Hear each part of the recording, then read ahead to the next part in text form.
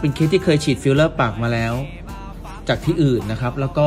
ที่คนไข้กังวลเลยเดี๋ยวมาตรงใกล้ปากนิดนึงจะได้เห็นชัดๆนะฮะเนื้อปากบนก่อนจะเห็นว่าปากฝั่งนี้เนื้อจะน้อยกว่าฝั่งนี้ เราจะอาจจะเพิ่มเนื้อทั้งสองฝั่งแต่จะเพิ่มเนื้อฝั่งบนนี้ ฝั่งซ้ายของคนไข้เนี่ยให้เยอะกว่า พอมาดูปากล่าง สิ่งที่ต่างที่มันไม่เท่ากันเนี่ยคือสิ่งที่คนไข้กังวลเนี่ยก็คือจะเห็นว่ากระเปาะ สองฝั่งไม่เท่ากันกระเปาะที่เป็นเชอร์รี่ ฝั่งนี้กระเปาะเล็กกว่า อาจจะต้องเพิ่มกระเปาะตรงนี้ให้ใหญ่ขึ้น แต่พอดูเนื้อข้างปากข้างนี้ กับข้างนี้ข้างนี้กับเนื้อน้อยกว่า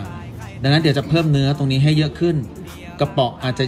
เพิ่มนิดหน่อยแต่ข้างนี้ต้องเพิ่มกระเปาะเยอะ แต่เนื้อด้านข้างอาจจะไม่ต้องเพิ่ม แล้วก็เดี๋ยวยกมุมปากขึ้นทั้งสองข้างครับ อันนี้คือที่เราดิหลังจากฉีดปากแล้วจะเห็นว่า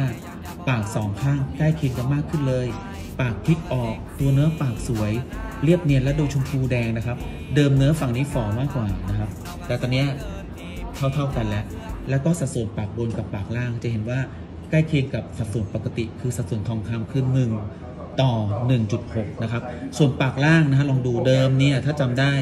เนื้อตรงนี้มันน้อย ตอนนี้เรามีเพิ่มเนื้อให้ใกล้เคียงกัน และกระเปาะฝั่งนี้นะครับลองคลายปากนิดนึงนะฮะเดิมฝั่งนี้กระเปาะเล็กตอนนี้สองข้างใกล้เคียงกันแล้วทำให้ปากดู